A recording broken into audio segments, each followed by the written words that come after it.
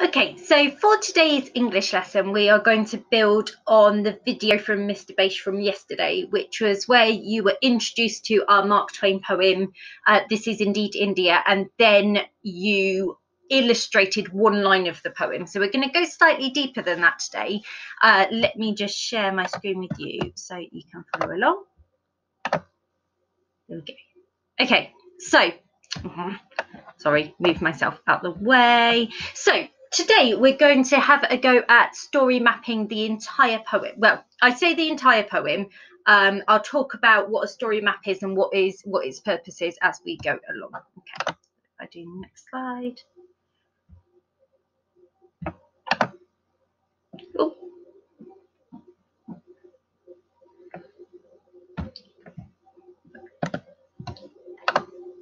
Right. Okay. Sorry.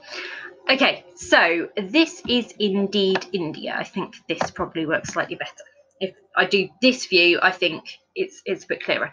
Okay, so this is indeed India by Mark Twain. He was an American writer who travelled to India. So, the land of dreams and romance, of fabulous wealth and fabulous poverty, of splendour and rags, of palaces and hovels, of famine and pestilence of genii and giants and Aladdin's lamps, of tigers and elephants, the cobra and the jungle, the country of hundred nations and hundred tongues, of a thousand religions and two million gods, cradle of the human race, birthplace of human speech, mother of history, grandmother of legend, great grandmother of traditions, the one sole country under the sun that is endowed with an imperishable interest for alien prince and alien peasant, for lettered and ignorant, wise and fool, rich and poor, bond and free, the one land that all men desire to see, and having seen once of even a glimpse, the riches of all the rest of the world combined. Okay, so that is the basis of our poem. I'm going to go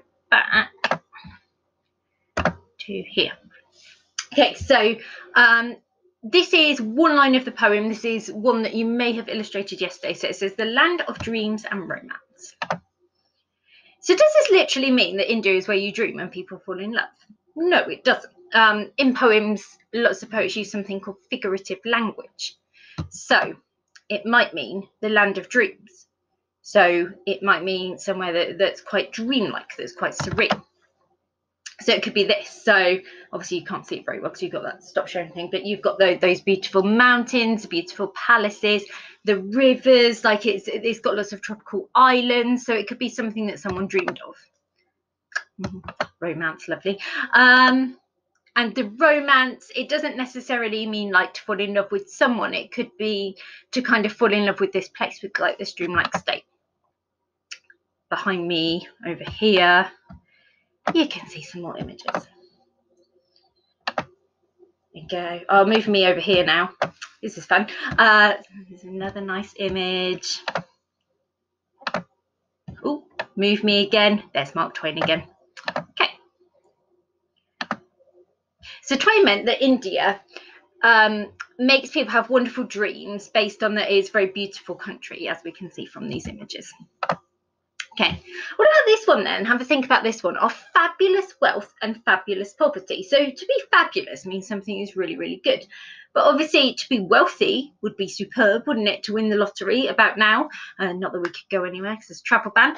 Um, but it obviously wouldn't be fabulous to be very poor, to be in poverty. So what could Twain mean here? So fabulous may not necessarily mean really, really good. It might mean huge in scope. So it might be big in scope, like that poverty is overwhelming. It's fabulous wealth and fabulous poverty.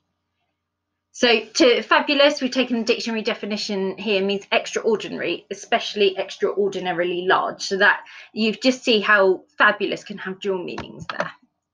Okay, there we go. So you can see on the left, that's one of the Indian palaces, very rich, very opulent.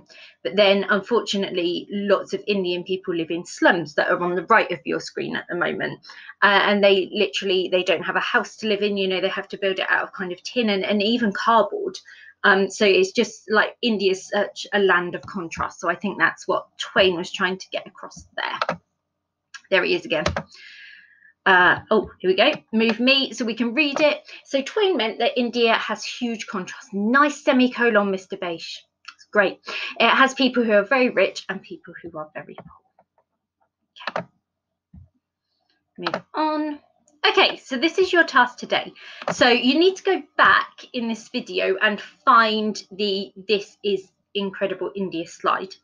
Um, you're going to story map the poem. So what we mean by that is you're going to pick out the key moments in the poem and draw the key moments. So, for example, um, I'm not very good at drawing, as people in my class know. So, if I was picking out the line, the land of dreams and romance, I might draw like a stick, a sleep maybe with some Zs, and then romance, I might draw a heart. And then move on, you know, of fabulous wealth and fabulous poverty. It's okay to pick out uh, a few keywords. Obviously, we don't want you to rewrite the entire poem, but I would definitely write out the word fabulous. And then for wealth, I might draw a crown and maybe for poverty, maybe draw someone crying or a tin shack or something like that. Um, so literally story map it out. The aim is for about five or six key moments and pictures. What we don't want is you to draw out every single picture. That's just going to take too long. You know, that's going to take you a good two or three hours. That's not what we want. It's supposed to be just a kind of quick sketch is to help you remember the poem. You can write the keywords for each line or section. Um, yes, so all you'll need to do is go back in this video, pause it there, pick out the key bits, um, and then you will draw out your story map. Um, you will need it for tomorrow. So if you could just keep it somewhere that you have to hand because you will need it for tomorrow's lesson. Okay, and that's it.